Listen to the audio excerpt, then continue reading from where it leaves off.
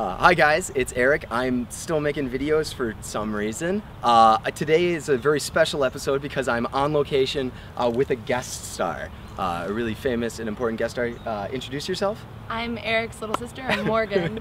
this is my little sister. This is part of my friends and family program. After John yesterday, I'm gonna wrangle everyone I know into doing videos. Uh, so today, I had kind of promised myself I was gonna do a video with a little more substance in it, uh, something that I think would be useful, the kind of video that initially, uh, when I started getting into film, I had looked for on YouTube and hadn't really found. So uh, what I want to do today is something on Portra 400, Kodak Portra 400. Um, its uses, its look, uh, what you can expect from it. We're going to take some photos and we're going to post them and you can kind of get an idea of what the film is all about, what it brings to the table, and uh, what you can use it for. So Kodak Portra 400 uh, is a film specifically designed for portraiture, as the name would indicate. Uh, Portra comes in three different speeds, comes in a 160 speed, it comes in a 400 speed, and an 800. Now, according to Kodak's documentation on the website, the higher the speed of the film, the more saturated it's going to get and the less fine-grained it's going to get.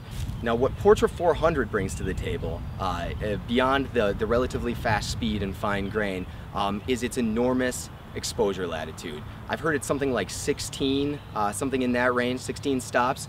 It allows you to shoot in a really specific way and it's become a favorite among wedding photographers, engagement photographers, portrait photographers, because it allows you to overexpose the film and get a really interesting signature look that's almost uh, unachievable through digital. So what we're gonna do today is I'm gonna take Morgan's picture.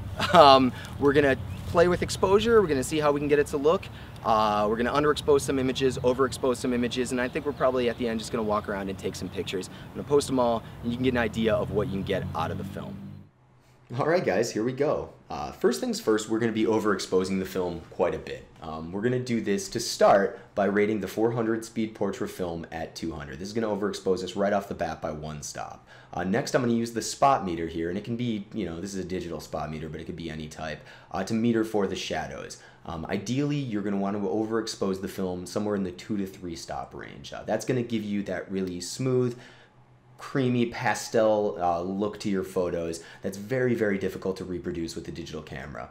Um, what you're going to find is that on digital, when you overexpose too much, because it's a completely two-dimensional surface, you're going to click over to a white pixel that data's lost forever and ever. Uh, whereas film is a three-dimensional object, so an overexposed negative is just a thicker negative, and it's much, much harder, particularly with color negative film, to cross that, you know, metaphorical event horizon where you can't get your data back. How can how can you look good in the picture? I don't know. I don't know. it's like weird because I'm like by myself. Because you're by yourself. That's good. That's fine.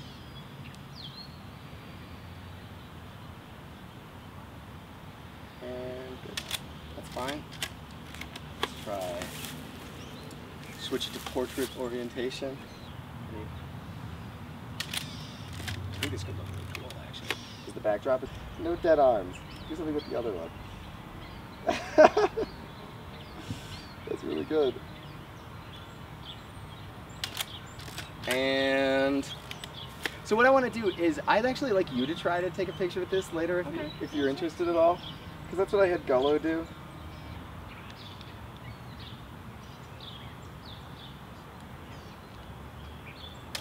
Yeah, that's gonna be cool. I think.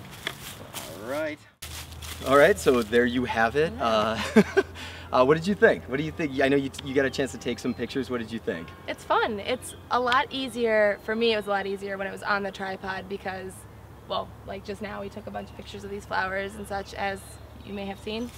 No, Um, no, no, no? one No, saw that. That's the, the photos will be in the video. Okay. You, you may have seen it actually Oh, okay, yeah. through the magic of YouTube television, Right. but uh, you didn't see it, it actually happen. No, not in, in progress. But yeah, on the tripod's a lot easier because you have balance and control over the large camera. What is the camera? The The, uh, the Mamiya RB67. Yeah. So you're not wrestling the weight it's it's very of a 10 pound yeah. camera while trying to Right, so that was a fine tune the focus.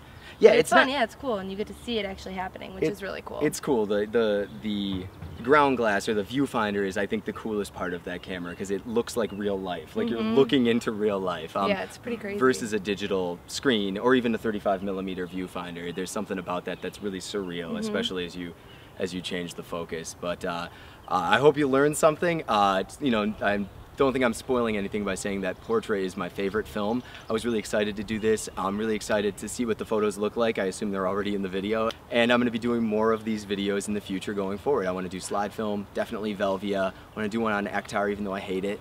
Uh, and, and some black and white stuff and I definitely want to do some darkroom content uh, showing you how to develop your own black and white film uh, either in a lab or at home. So uh, thank you to my, my assistant and sister Morgan uh, and, and goodbye.